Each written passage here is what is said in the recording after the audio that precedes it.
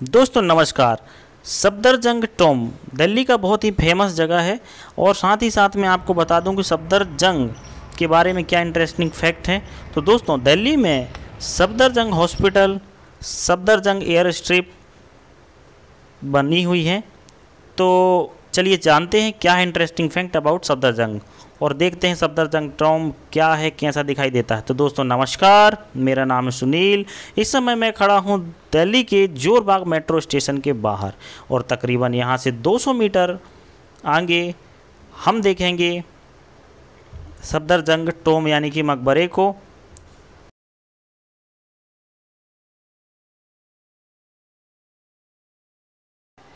ये है दिल्ली का अरविंदो मार्ग। साथ ही साथ में जो फ्रंट में सीधे सामने आप देख रहे हैं, वह है लोधी रोड। और तकरीबन 200 मीटर आगे चलकर अब हम देखेंगे सफदरजंग टोम्ब को और साथ ही साथ बता दूँ मैं आपको यहीं से बहुत ही नज़दीक लोधी गार्डन भी है, जो बहुत ही अच्छा टूरिस्ट अट्रैक्शन का पॉइंट है।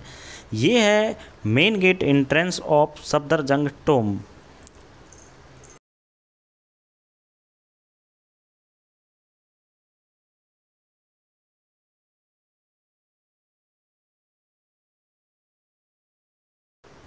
तो ये है सफदरजंग टोम के मेन गेट की एंट्री।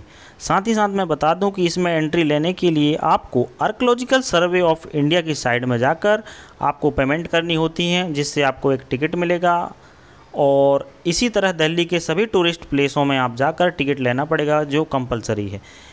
और देख सकते हैं मेन गेट एंट्रेंस का जो आर्किटेक्चर है, वो किस तरीके से भव्य है। और ये है यहाँ की एक लाइब्रेरी, जो यहाँ के रिकॉर्ड वगैरह मेंटेन करती है। तो मेन गेट एंट्रेंस से अंदर होते ही आप देख सकते हैं किस तरीके की भव्य समथिंग समथिंग ताजमहल के शेप में। और बोला जाता है कि हुमायूं टॉम्ब से भी मिलता जुलता है ये शेप इस तरीके से कितना भव्य दिखाई दे रहा है सफदर जंग टॉम्ब का मकबरा। तो दोस्तों, इस तरीके से अब हम इसकी ओर आगे बढ़ते हुए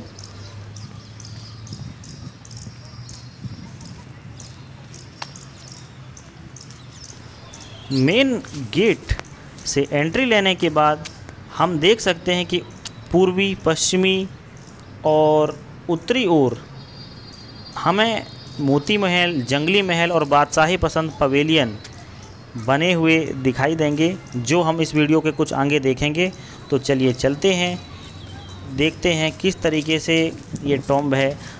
बेसिकली हम अगर यहाँ पे देखेंगे तो इसके नीचे के सारे गेट बंद हैं, जो बहुत ही समय से बंद हैं, और जो मकबरा है वो इसके ऊपर बनाया गया है। तो देखते हैं कि क्या है, और यहाँ पे आप देख सकते हैं कि ये वाटर के स्टोर करने के लिए एक टैंक है, और यहाँ पे नालियाँ हैं जो वाटर को यहाँ के मेंटेनेंस के लिए रिलीज़ करती हैं। तो दोस्तों, इसको सुजाउद्दौला, जो सफदर जंग का बेटा था, उसने मुग़ल साम्राज्य से परमिशन लेने के बाद इसको बनाया था। और देख सकते हैं कि मैं यहाँ पे मैं अपनी ही फ़ोटो को किस तरीके से ले रहा हूँ।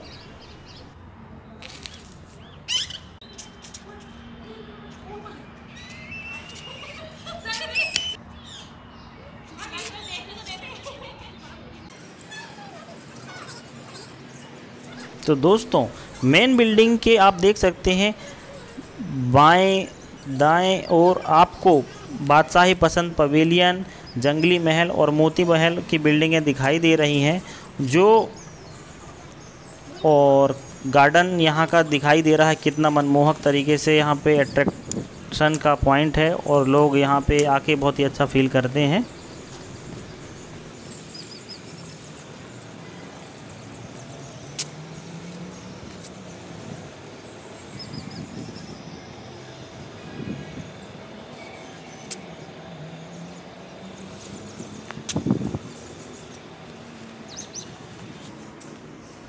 तो मेन बिल्डिंग के मेन एंट्रेंस पे आप देख सकते हैं, यह है वह मकबरा, जिसे सफदरजंग का मकबरा कहा जाता है।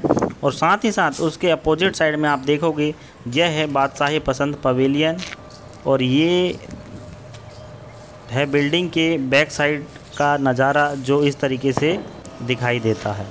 और इस समय मैं आ चुका हूँ नीचे, और चलिए चलते हैं। अब देखते हैं इस बिल्डिंग के जो बॉर्डर है बाउंड्री है, उसको। और नज़दीक से देखेंगे हम कि किस तरह है। मोती महल, जंगली महल और बादशाही पवेलियन बॉर्डर पे बनाया गया है। और किस तरीके का यहाँ पे नज़ारा तो चलिए दोस्तों चलते हैं और मैं बताता हूँ आपको यहाँ की स्टोरी दोस्तों, ये जो सफदर जंग है, ये ईरान मतलब एक समय में फारस बोला जाता था तो फारस के निशानपुर गाँव के खोरासन जो एरिया है वहाँ पे उसका जन्म हुआ था सफदर जंग का और 1708 में इसमें इसका जन्म हुआ था। साथ ही साथ मैं बता दूँ कि ये एक माइग्रेंट थे, जो वहाँ से पलायन अपने आप को छोड़ के, क्योंकि ये जो मुग़ल साम्राज्य है इंडिया का, वो इनके रिलेटिव थे। तो वो उन्होंने यहाँ पे, इंडिया पे आ गए और वहाँ से आने के बाद, अवध के नवाब के रूप में काम करने के बाद, उसे दिल्ली में वज़ीर आज़म सत्रह सौ तक मुग़ल साम्राज्य का कार्यभार संभाला और अपनी शक्तियों को हुई प्रभावी रंग से, प्रभावी ढंग से संभाला। और बाद में इनका प्रभाव अधिक हो जाने के कारण इसे सत्ता से बेदखल किया गया और सत्रह सौ तिरपन में ही इसकी फिर मृत्यु हो गई। बाद में मुग़ल साम्राज्य से परमिशन लेने के बाद इनके पुत्र सुजाउद्दौला ने उनके लिए यहाँ पे मकबरा बनाने की पेशकश की, जिसे मुग़ल साम्राज्य ने दिया। तो दोस्तों, ये था हमारा आज का वीडियो। वीडियो अच्छा लगा हो तो please like share and subscribe करें। मैं हूँ आपका दोस्त Sunil Jangela thank you for watching this video